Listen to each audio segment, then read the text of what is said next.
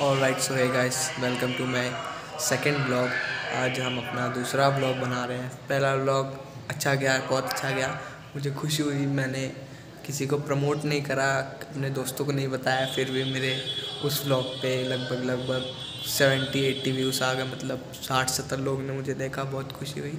आज हम देखने वाले हैं भाई, मैं अनबॉक्सिंग कर रहा हूँ। एक ग्रिल सेट है उसकी। अनबॉक्सिंग वीडियो मैंने बना दी है। बाकी आपको मैं दिखाता हूँ, देखो।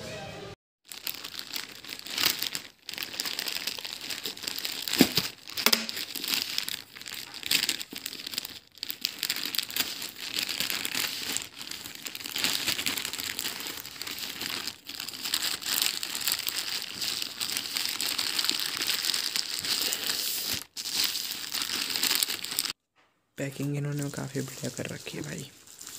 बहुत बढ़िया पैकिंग है। बबल रैप करके दिया ताकि टूटे ना। चलो इसे खोल के देखते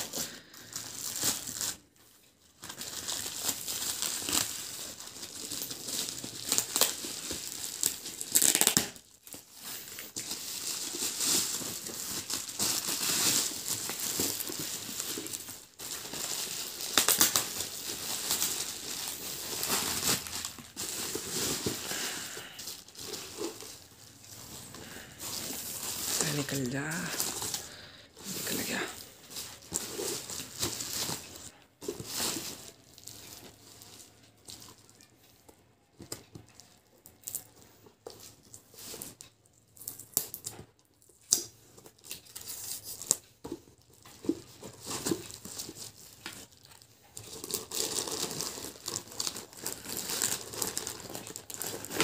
इसके अंदर भी एक पन्नी है क्या बात है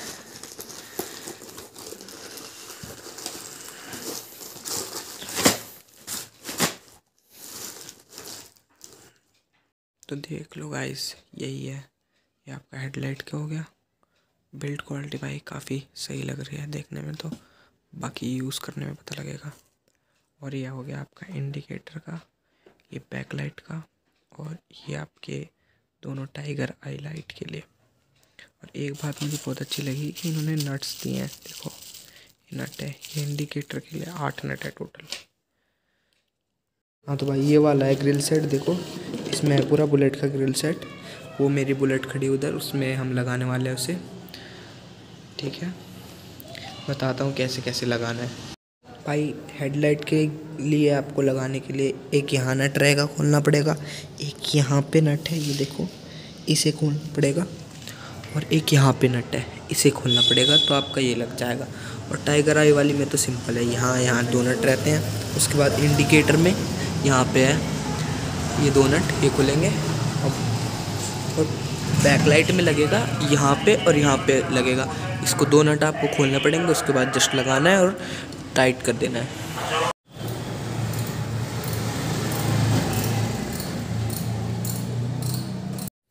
हाँ तो भाई यहाँ पे क्या हुआ ना कि ना मैं खोलते रह गया, मैं परेशान हो गया, मैंने खोल लिया पूरा, उसके बाद मैंने पूरा सेट करने का कोशिश कर लिया, तब भी नहीं हुआ।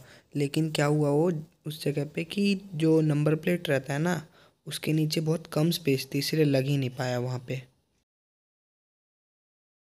तो भाई देखो, ऐसा आ रहा है कुछ फाइनल लुक ऑन करके दिखाता हूँ आपको।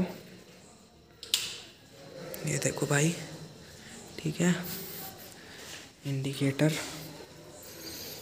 इंडिकेटर में आपको आ रहा है। ये देखो भाई, ऐसा आ रहा है कुछ। बैक से भी दिखाता हूँ। थोड़ा ये कुछ सामान रखा है, इसको इग्नोर करना। भाई बैक लाइट और फ्रंट वाले में तो लगी नहीं है। कुछ इशू आ रहा है उसमें, पता नहीं है मैं चेक करूँगा उसको, उसके बाद लगाऊँगा। अगर लग जाएगा तो आपको लास्ट में पिक डाल दूँगा, वरना छोड़ दूँगा। थैंक यू फॉर वॉचिंग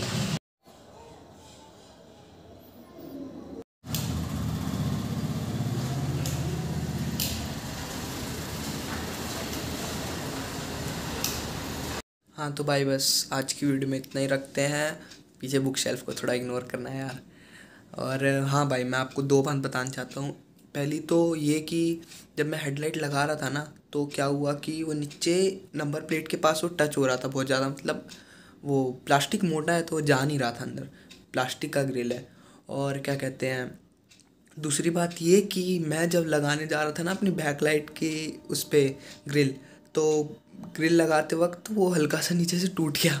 वो पता है क्यों टूट गया? क्योंकि वहाँ पे जो दो नट मैंने आपको दिखाए थे ना वीडियो में, वो दो नट वो खुले ही नहीं दोनों में से एक नट नहीं खुला। और मैंने लगाने का ट्राई किया, मैंने सोचा एक साइड वाले को काट दूँगा, दूसरे में लगा दूँगा। तो दूसरे वाले को टाइट करने का कोशिश किया, वो भी नहीं लगा और टूट भी गया। उसके बाद फिर मैंने दोनों को काट के हटा दिया। ऐसे मजबूती से लग जाता है, अगर आपके साथ भी यही दिक्कत हो तो कर लेना और अगर आपको चाहिए रहेगा तो मैं अलमोनियम की ग्रिल का लिंक भी डाल दूँगा डिस्क्रिप्शन में और प्लास्टिक की ग्रिल का भी डाल दूँगा। बेस्ट बाय लिंक चलो बाय